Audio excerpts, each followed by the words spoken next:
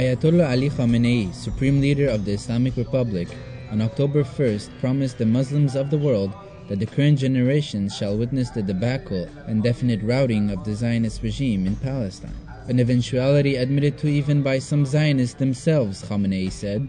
Khamenei, who led the mass prayer in Tehran himself, followed up with a sermon on the occasion of the Eid al-Fitr feast, marking the end of the fasting month of Ramadan. He called on the Muslims of the world to unite so that the current Palestinian generation shall see the great day when Israel is no more.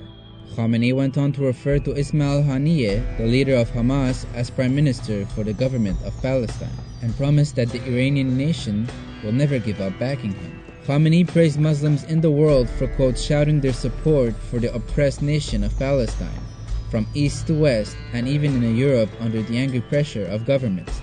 Khamenei went on to say that the world of Islam is now, quote, much more sensitive and motivated in the connection with the plight of Palestine. So much so that had such awareness existed when the country of Palestine was first occupied, the Zionists would have failed their occupation efforts. Marking the occasion of Iran's World Quds Day, Ayatollah Ali Akbar Hashemi Rafsanjani, Tehran's provisional Friday prayer leader, on October 2nd focused his sermon on the creation of the State of Israel, which he called the United Nations first crime. Rafsanjani, who also chairs the Assembly of Experts, went on to note that no country has violated UN resolutions as much as Israel.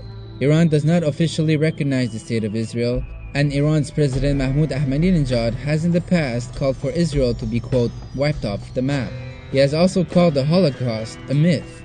Such remarks have drawn widespread criticism from world leaders and Ahmadinejad was met with wide-ranging protests last week in New York, where he participated in the United Nations General Assembly.